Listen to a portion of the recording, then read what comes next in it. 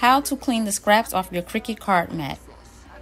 I like to use my Cricut scraper tool and gently glide it across the card mat.